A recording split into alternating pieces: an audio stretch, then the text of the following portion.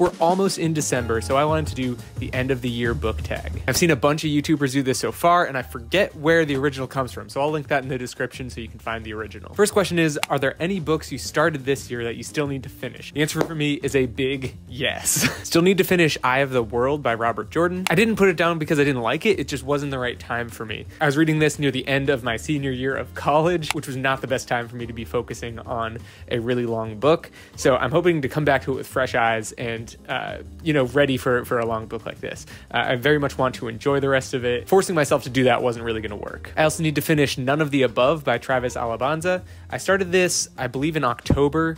Uh, and I've just been reading one chapter at a time, sort of slowly. It's an awesome book, and I'm loving it so far, but it's just not the type of book that I sit down and plow through. I'm really kind of taking my time with it, so I still need to finish this one. The next one is Warriors Into the Wild. Uh, this is my fourth reading of Warriors Into the Wild, and uh, I'm taking my time with this one as well because I'm taking notes on every chapter so I can make a very in depth deep dive. Uh, so I'm, I'm, not sure if I'll finish this by the end of the year, but there's a good reason for that. So hopefully uh, it'll be worth it in the end. I'm also listening to He, She, They by Schuyler Bailar. This is an awesome book about all things transgender and pronouns. I'm loving it so far. It's just a matter of, you know, getting audiobook time in. Last but not least, my current read, uh, The Empress of Salt and Fortune. This one I I expect I'm going to finish it in the next two days. This is such a short book. Absolutely loving it so far. It's very poetic. It almost reads like a Chinese classic, which is something that I was not expecting from a book published in 2020. Uh, the way that it captures that atmosphere is so, so cool. Next question Is there an autumnal book to transition into the end of the year? Not really for me. I kind of missed out on the autumnal vibes because I've been reading slowly. And by, by the time that I finish the books I'm currently reading,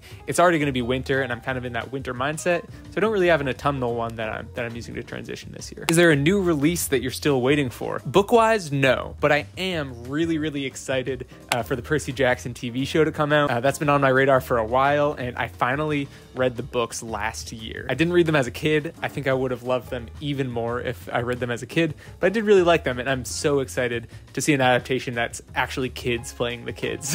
so that, that'll be really cool. I, I'm very much looking forward to that. Question three What are three books you want to read before the end of the year? For me, those would be System Collapse by Martha Wells, Untethered Sky by Fonda Lee, and The Story of Hong Gil-dong, which is a Korean classic. I'm on a short book kick recently, and these three are pretty slim, uh, and I have confidence I can get through them before the end of the year. I've really been getting back into my interest of birds recently, so the concept of Untethered Sky is really interesting to me, and as I've seen more book reviews online about it, uh, the more I think my expectations are set properly for it. So I'm really looking forward to this one, and it'll be my first exposure to Fonda Lee as well. Now, I really want to read the story of Hong Gil-dong because I started learning more about Korean culture the past few years in school. Um, I studied international relations with a concentration in Asia, so I took one class about Korean history, and I just am so fascinated and, and want to learn more.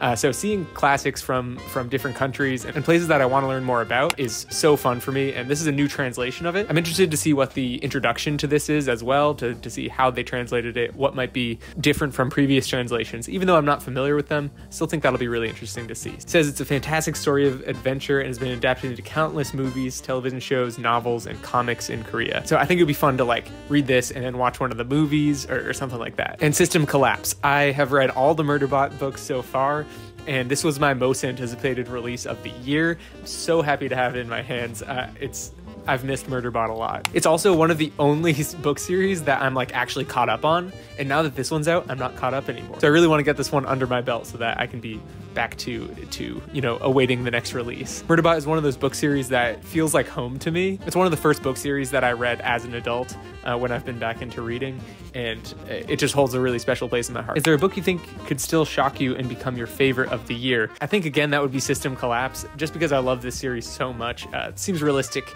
assume that it might be my favorite of the year. Obviously, we'll see how it goes. Every entry into a book series is different, and Murderbot has had its stronger ones and its weaker ones, so we'll see. Have you already started making reading plans for 2024? Yes and no. Uh, I haven't made any concrete plans, but something I know that I want to do next year uh, is to finish more of the series that I've already started. I think right now I'm reading seven different series, and I'd really like to close out a few of those uh, so, so that I can I can focus more on each individual series as I read it, rather than having all of them going at once. Uh, it feels like I'm juggling too much, and, and I want to finish some more of those. That's all I have so far for reading plans for 2024. I mentioned wanting to read more short books by the end of the year. Uh, so if you're interested in that too and you want some short book recommendations, check out this video right here where I talk about seven of my favorites. Okay, that's all. See ya.